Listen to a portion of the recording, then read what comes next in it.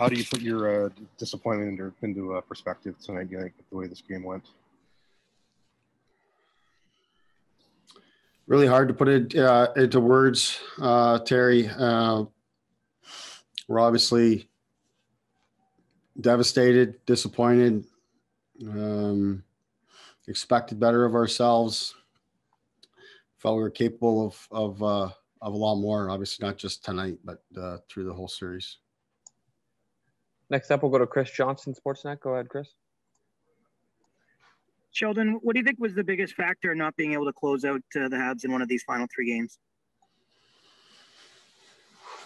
I think it's really hard to, to pinpoint one thing. Probably a little too fresh to, um,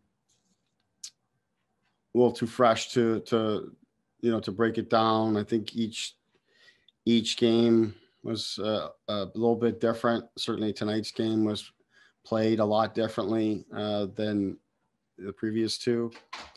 Um, so yeah, I think it's it's a, it's a little too fresh here, but obviously we didn't we didn't score enough. We didn't play with the lead, um, and that made it that made it hard.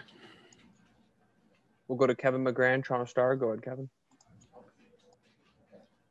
Sheldon, I know you're not a guy to look for excuses really, but how much of a factor was uh, missing John Tavares essentially for the whole thing and the other injuries to Jake Muzzin tonight and Nick Foligno for a couple of games?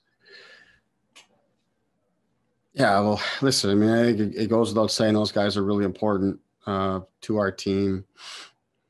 You know, be it John or Jake and um, Nick, as you say, uh, missed him, and then you know he gave us everything that he had in the games that he did play, but uh, was far from uh, far from himself, far from 100. Um, percent But uh, we you know, we we put ourselves in a good spot in the series, and uh, and didn't get it, you know, didn't get it done. You know, um, despite not having John, despite you know not having Nick, um, we were in a, we were in a good spot and did close it out. And you know, we we've we added enough pieces and depth and things like that to be able to deal with those types of situations.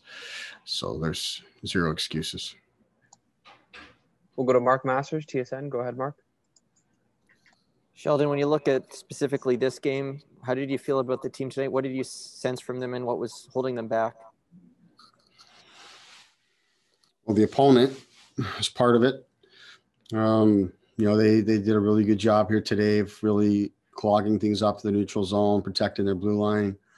Uh, as I said, the game was played a lot differently tonight than the previous two, where they really pushed and really came at us. Today, they sat back a lot and you know, I, and uh, they were just content to wait, you know, for something to go their way, and it did.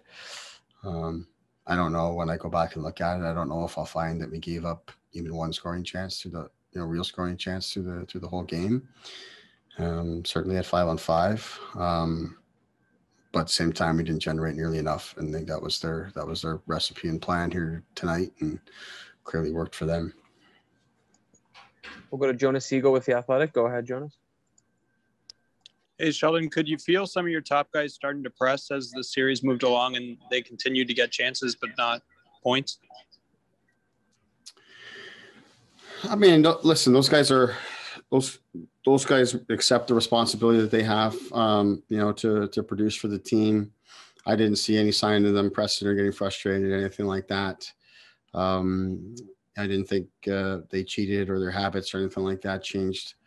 Um, those guys want to win um, as much or more than any other guy we have, and um, they're as hard on themselves as anyone. So, um, you know, they they they they know the responsibility that they have to the team. But I, I didn't see any sign of frustration, both in watching them on the bench, talking with them before, during, and after games. Um, uh, you know, just uh, it just didn't it didn't go their way um, and the chances that they had. And a night like tonight, our entire team uh, struggled to generate much. And last two questions here. We'll go to Josh Clipperton, Canadian Press. Go ahead, Josh. Sheldon, we often talk about will beating skill in the playoffs. Did, did this team have enough will to, to close this out when there's 3 1 against a wounded opponent?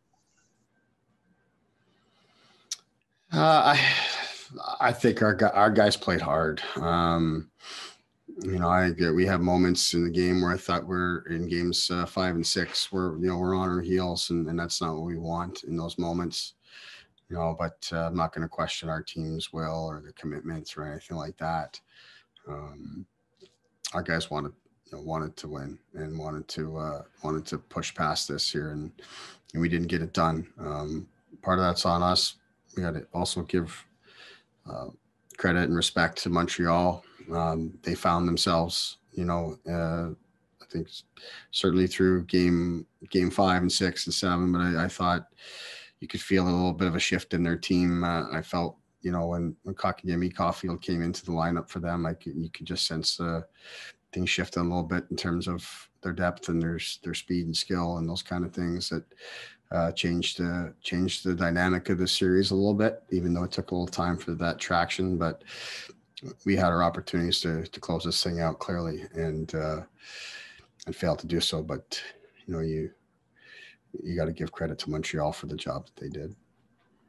And last one here, we'll go to Luke Fox with Sportsnet. Go ahead, Luke. Hi, Sheldon. What was your message to the group after the game? There's some guys on your team. I'm thinking of Jason and Joe who might not have too many more cracks at this. Yeah, our, our guys were our guys were quite devastated, as you might imagine, after the game. Um, so I, I, I chose not to speak to the to the group post game and look at an opportunity. Um, and the dust settles, we'll have the group back together here again in a couple days, and you know we'll uh, we'll go through those kind of things then. Thanks, Sheldon.